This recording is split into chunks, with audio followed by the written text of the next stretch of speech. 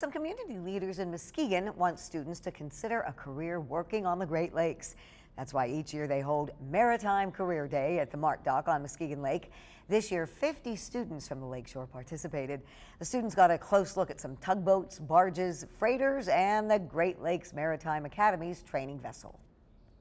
If you're not sure what you want to do right after high school, this is a wonderful way. You, you, get to see Great Lakes ports, you're on the water, you get great money, you get time off.